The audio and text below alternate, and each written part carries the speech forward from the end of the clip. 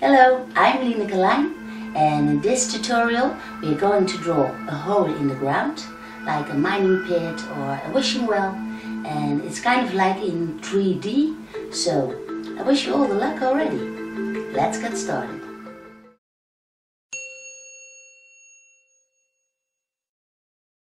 In this drawing lesson we are going to draw a uh, hole in the ground and I thought it would be nice to uh, put a ladder on it of course that you can get out of it and for the setup I'm using pastel pencil and a simple white coloring pencil and of course you can use all the kinds of colors you like for your well or pit to draw.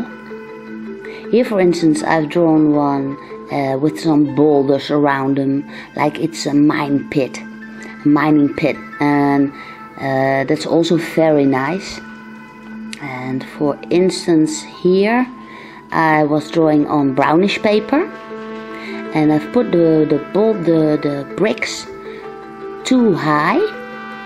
And then you uh, get a higher uh, way of of drawing this kind of wishing well if you want without the leather. So you can go all kinds of ways. It's a very nice study. And we will be drawing this. And for the setup I'm using a white color pencil.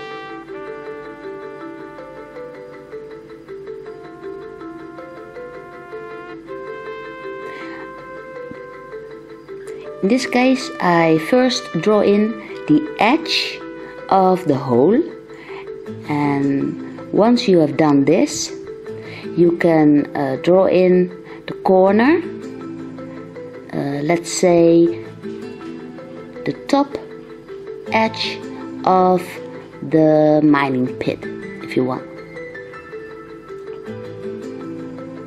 Once you've done that, you can decide how high you want the hole in the ground to be, the edge of the hole in the ground.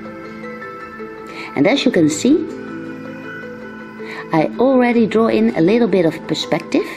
So in the front, uh, the, the distance is a little bit broader than in the back. Once you've set this in, you can already start drawing in the ladder.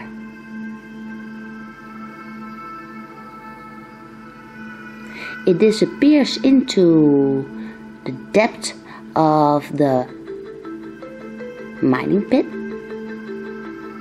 And this is about as as broad as I want the, the, the sidebars to be of my ladder and parallel to the right side I draw in the bars of the ladder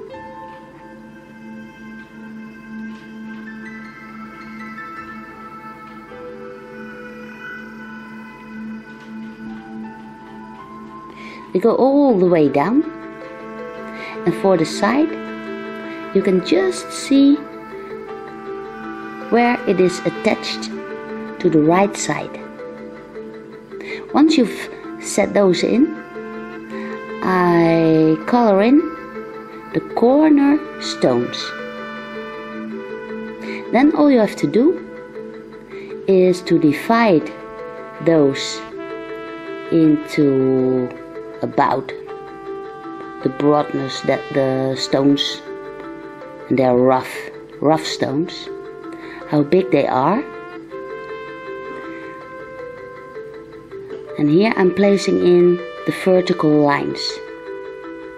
So now you get a feel of about how big the rough stones are for the edge of our hole in the ground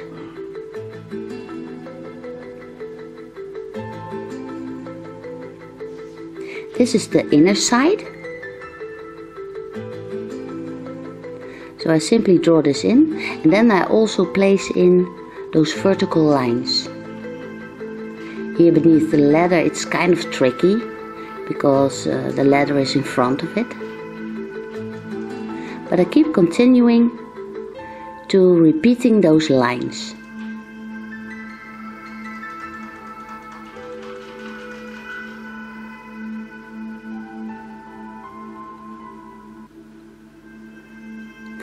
I continue to draw in the vertical lines and I do this uh, uh, shape by shape. So uh, the the lines are not straight but they uh, kind of uh, go around each other. And here underneath the bars of the ladder I draw in just between them then it's time for the pastel pencil and the top edge of the hole in the ground is the edge that catches the most of the light.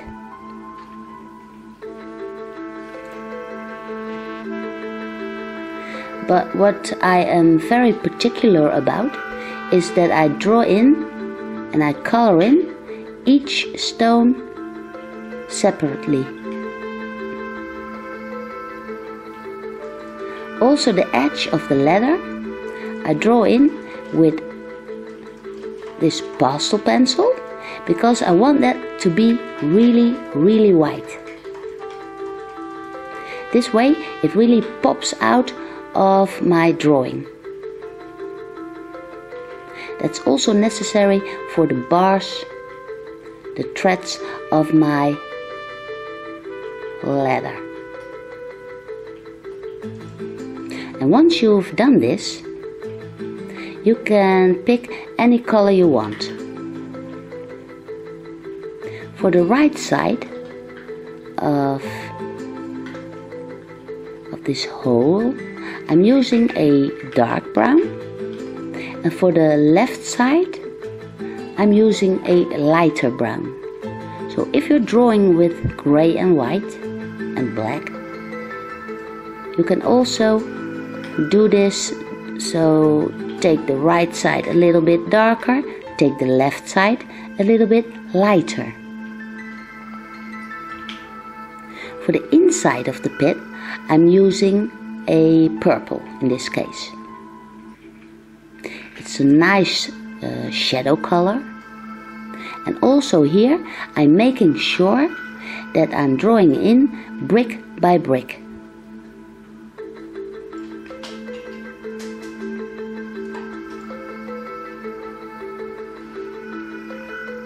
Here for here for oh that's my cat sorry.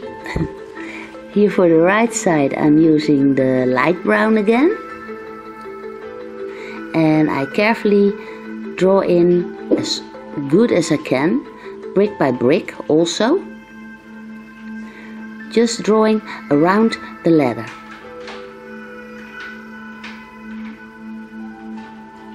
I'm removing my cap. And for the inner side of the leather I'm also using the purple. It's the ground color. And it's the same color that I use for the left side of the inner side of the pit. And for the middle shading of the bars of the leather I'm using a lighter purple. Then I'm using the white color pencil to paste the pastel together. Also I want to light up that, that edge as much as I can.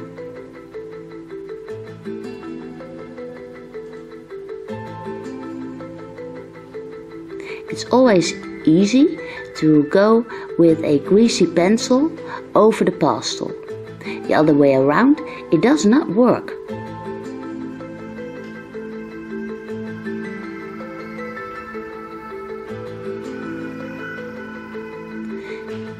I go back to the dark brown again and I place the dark brown over the purple. This way I'm easing down the purple and it just lays underneath like a shadow color. I'm also using that same dark brown for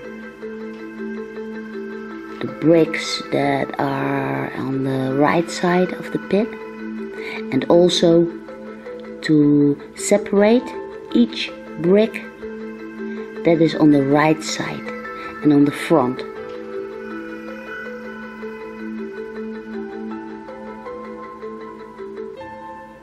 Because I want all the bricks to be rough and loose, I'm not using a ruler at all.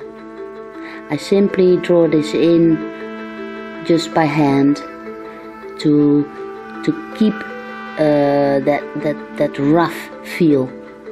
Oh no! There's the cat again. Sorry for that.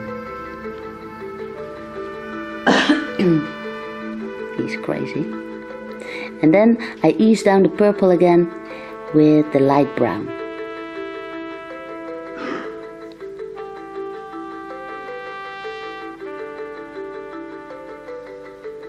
Want the leather to be kind of metally. So I'm using a dark blue over the purple.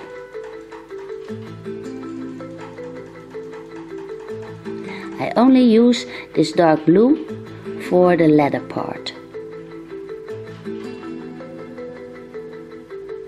Once you've done that, you can place over black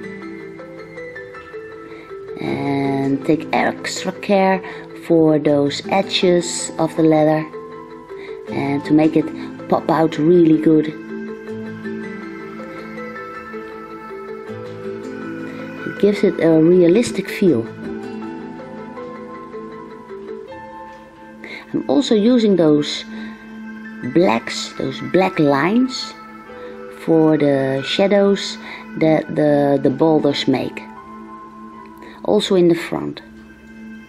So add this, oh my, sorry. So the black pencil I'm using for the last stage to get that extra shadow and extra dimension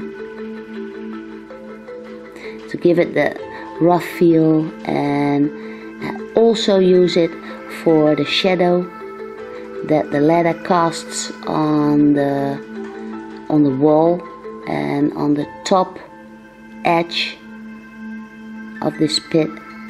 And also a little bit just behind those rough boulders or bricks. So a shadow is casted on the ground. And it really makes the leather pop out even better.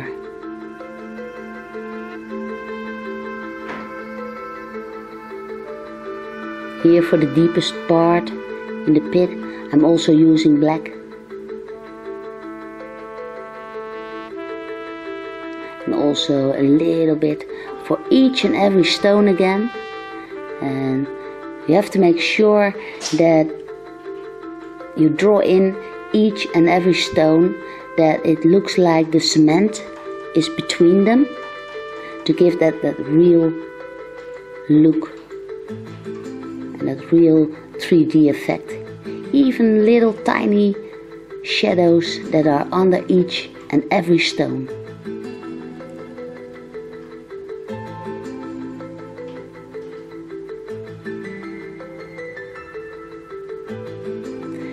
Then I'm simply using the white color pencil again to get those harsh edges for each boulder, each stone, the, the edges of the leather, the edges of the bars of the leather.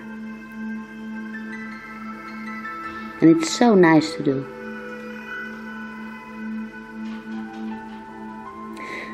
Well, it's finally done, this drawing. So I'm signing my name now and I hope this will be a great inspiration for you. And please draw it in any color you like, on any kind of color paper. And of course, I hope to see you again in one of my other videos.